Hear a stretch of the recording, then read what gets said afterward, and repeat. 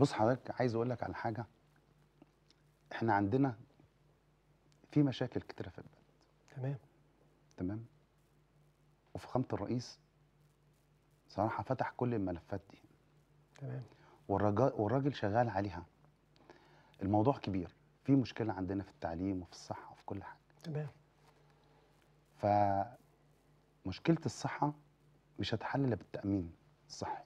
ودي منظومة داخلة على مصر والتع... طيب ما عليك. هل الناس تموت لحين يجي التأمين؟ لا لا لا مش الناس مش هتموت ولا حاجة. ما بقول. لك هو الموضوع كبير. الراجل واخد البلد يعني زي ما قال فعلا مهلهلة.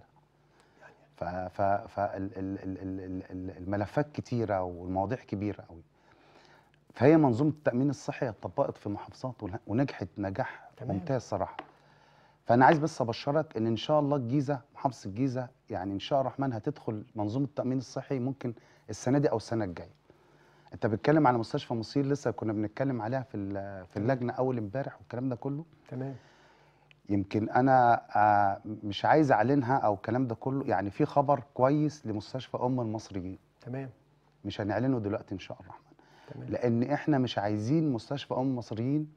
إحنا يعني باللغة كده ال- ال- العامية يعني مش عايز أقولها يعني بنرقعها. تمام.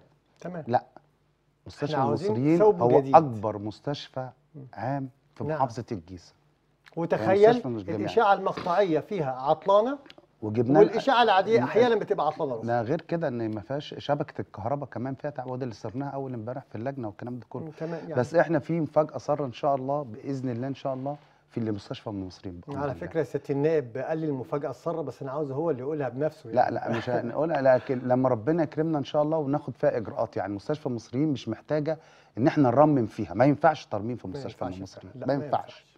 لأن هي يعني أنا بقول لك إن مستشفى المصريين أكبر مستشفى عام في محافظة الجيزة. لأن مش مش هي روح مش المحافظه مستشفى جامعي وهي سنتر. هي روح الكلام المحافظه ده نعم. وبتستقبل الناس كلها. نعم.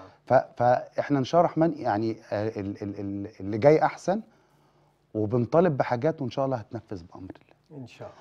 أنا في طبعا يعني أنا أنت آه، غفلت حاجة مهمة جدا إن لازم فين دور المستشفيات الخاصة؟ في الأزمات اللي إحنا فيها دي. لا المستشفيات الخاصة آه يعني حقة المستشفيات الخاصة دي يبقى ليها دور مجتمعي وتساعد الحكومة.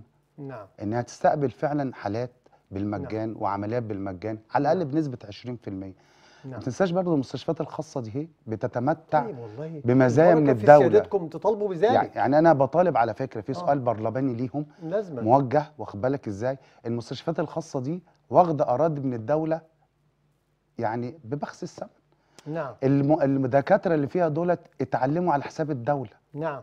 تمام. يعني خدوا من الدولة. فين؟ تمام. وبتتمتع بمزايا من الدولة. تمام. فين